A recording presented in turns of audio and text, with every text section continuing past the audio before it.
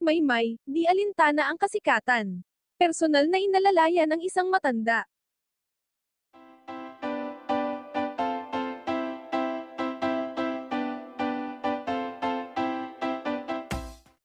Hello viewers! Etong video na isi-share ko sa inyo is probably one of the best video na makikita ninyo about Maymay. Yung Maymay na siya isang kilalang pangalan in showbiz, the first Filipina to ever walk the Arab Fashion Week, magaling na host, singer, dancer at actress, and the other half of Mayward Love Team, isa sa mga pinakasikat na love team in showbiz. Pero, heto, walang pagdadalawang isip na inalalayan niya ang isang matanda sa paglalakad. Watch this.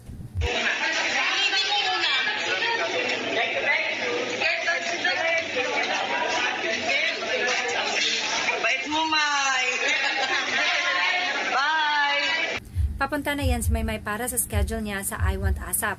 Pwede namang tawagin niya yung guard para siyang aalalay kay Lola pero heto, she went out of her way para siya mismo ang umalalay kay Lola. Kung titingnan ninyo ay parang isang simpleng tao lang talaga etong si Maymay at hindi sikat na artista. No wonder Maymay is loved hindi lang ng mga fans at followers kundi maging ng mga kapwa niya artista dahil she is genuine, humble at down to earth kahit ngayon na marami na siyang na-achieve.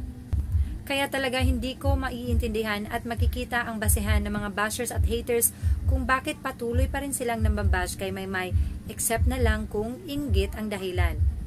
Dahil ang inggit ay walang gamot.